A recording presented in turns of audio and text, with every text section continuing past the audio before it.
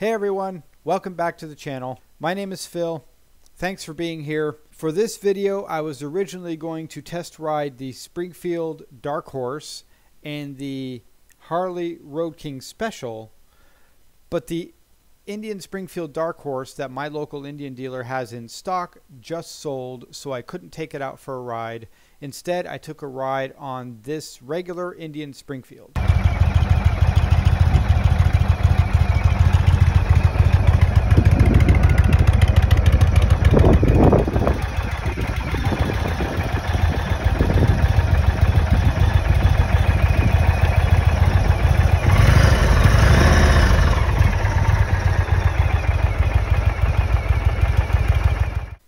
Harley competitor to the Indian Springfield is the Road King Classic, which unfortunately Harley Davidson has discontinued starting this year.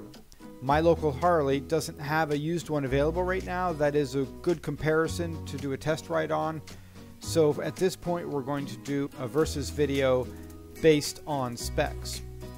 The most obvious difference between the two is looks, of course. The Indian Springfield has a vintage style fenders and saddlebags and a big front end that make for a very curvy classic look, whereas the Road King Classic just looks like a regular bagger.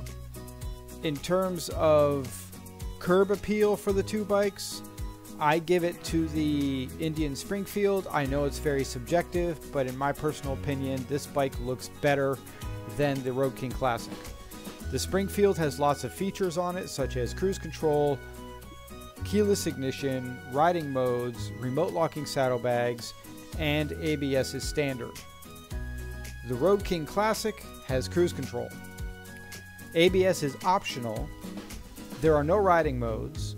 And as far as I can tell from my research, there's no keyless ignition or remote locking saddlebags on the Road King Classic. I don't know that for certain. I couldn't find any information on that. So, in terms of features, Indian wins that one as well. The engine on the Springfield is a Thunderstroke 111 with 119 foot-pounds of torque, which is interesting because if you remember my video about the Super Chief, if not, you can watch it here. The Thunderstroke 111 on the Super Chief only has 108 foot-pounds of torque. Based on what I've seen, most of the 111 engines have 119 foot-pounds, so the Super Chief appears to be the oddball out for this engine size. It is apparently tuned a little differently maybe to provide better gas mileage with a smaller tank size, I'm not sure. The Road King Classic has a Milwaukee 8 107 with 110 foot-pounds of torque, a little less than the Indian, so the Indian wins on this one as well. Both have removable windshields. The Springfield has a 5.5 gallon tank, a 26 inch seat height, and weighs 829 pounds wet and ready to ride with a full tank. This bike actually weighs more than the Indian Chieftain which has a full front fairing, only by a few pounds, but still that's interesting. The Harley has a 6 gallon tank, a 26.3 inch seat height, and weighs about 828 pounds, which is almost identical to the Springfield. Harley wins with a bigger tank for the same weight, Indian wins with a slightly lower seat height. The handlebars on both bikes are long but angled down to mid torso with quite a bit of pullback. I couldn't find any specs on the Springfield saddlebags, so I'm not sure how the two compare in regard to storage space capacity. The Springfield has a 67 inch wheelbase compared to the Road King's 64 inch, so Harley wins on that one. All in all, just looking at the specs, I would say the Springfield is a better bike. What will probably make the decision for each individual person is whether they are brand specific in the motorbikes they choose and whether they like the classic vintage styling of the Springfield or the regular bagger look of the Harley. So, what was it like to ride the Springfield? I only noticed the heavier weight of this bike when coming to a stop. It does handle well at slow speeds. I did a fairly tight U turn and pulled through a few 90 degree turns from a stop with no trouble. The engine has so much low end torque on it that I was able to pull away from a stop almost without any gas at all, without stalling the bike. The bike has lots of power and acceleration, and shifting is very smooth.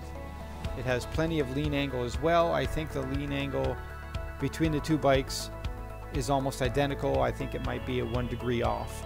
The one gripe I had with the Springfield is the same gripe I had with the Super Chief, the air intake on the left side. While not as annoying as the Super Chief, I was still rubbing my left knee on the air intake cover during my ride. Even though I had no problem with the heavier weight of this bike than what I'm used to, I can honestly say I wasn't super comfortable with it. I'm not totally sure what it was about it. I had no problem leaning it or taking it around corners, even at slower speeds, but it didn't feel as natural as I was hoping it would. My gut feeling tells me the biggest reason is probably the longer wheelbase. I think a shorter wheelbase would improve the handling on this bike. My big question for all of you is why don't we see more Springfields on the road? I'm not sure I've even seen one. Maybe one at a at a bike rally or something like that. Are the Road Kings that much more comfortable or better in handling than the Springfield? Or is it just because they've been around a lot longer? Other than the longer wheelbase and slightly smaller gas tank, the Springfield is better than the Road Classic in just about every way if you're just looking at specs. So, if you have any thoughts on this, leave a comment below. Let me know why you think the Road King is so much more popular than the Springfield. And does the Springfield have a chance to catch up now that the Road King Classic has been discontinued by Harley. Also, if you're enjoying these versus videos, please subscribe and like. I appreciate that support.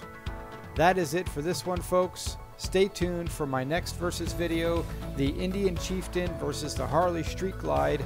I am super stoked about that comparison after sitting on the bikes in the dealership. See you on the next one. Take care, everyone.